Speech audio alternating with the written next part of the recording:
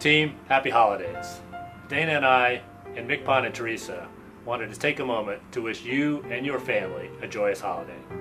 From our family to yours, we extend our very best during this wonderful time of year.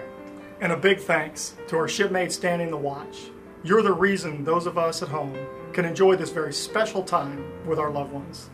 Know that you're in our thoughts and prayers this holiday season.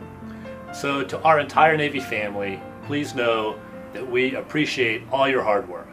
We're grateful for your devotion, your commitment, and your sacrifice that you give each and every day to make our Navy and our nation great. And so, from all of us to all of you, happy, Happy holidays.